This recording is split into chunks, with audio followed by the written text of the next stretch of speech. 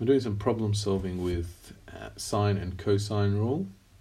Let's have a look at this first question. A communications tower is constructed on top of a building as shown. Find the height of the tower. So we want to find the height just of this.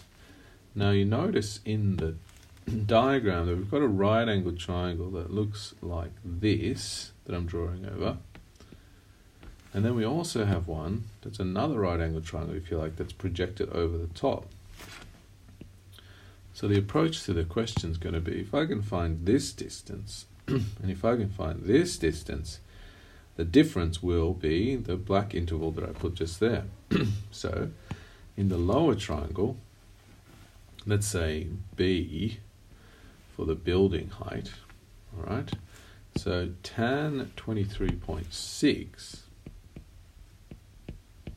is equal to opposite B over 200. So B is equal to 200 times tan 23.6.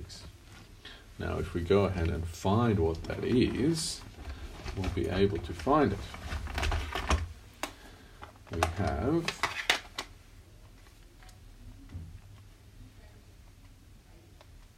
two hundred times tan twenty three point six is equal to eighty seven 0.3778 dot dot dot.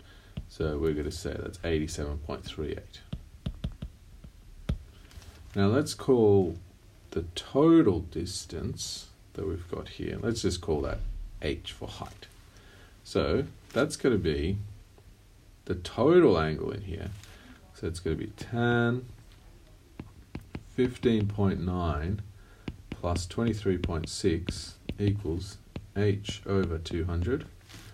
So h is equal to 200 times tan. Now that's going to be 24.5, 39.5, which is equal to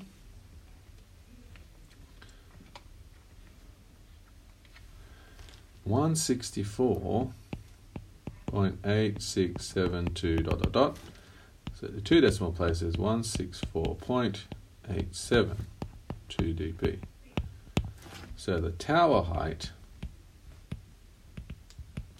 is equal to the large distance, the total 164.87 minus 87.38, and that's equal to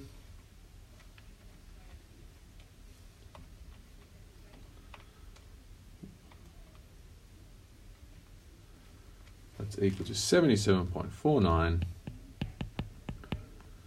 so let's say 77.5 meters to one decimal place. And there we have it. So there's one question done. That's not actually using any of it, it's just using right angle trigonometry and being able to do that.